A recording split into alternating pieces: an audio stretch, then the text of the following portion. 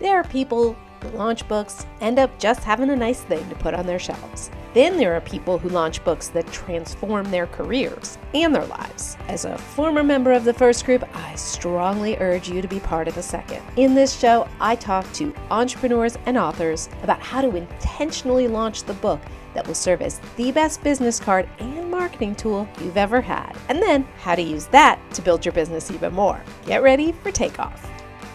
Guess who I just became friends with? Tip number two is just get the fuck over yourself, which is very hard to do.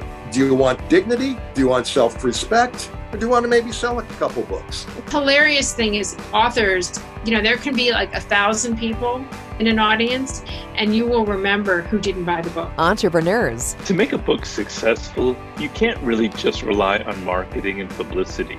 It's all the real work comes in the actual production of the book. join Anna for candid insights on how to publish your book with success. She just published her first novel, and it's like this badass female James Bond thing. And she's, you think I'm charming?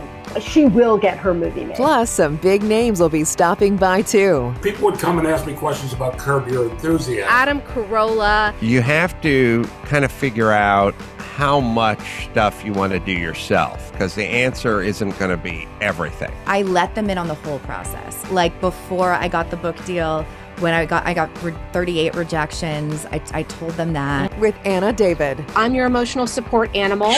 You're one of those really good interviewers. more chutzpah than you would ever think is possible In this show, I talk to authors about how they launched and how it took them to the next level.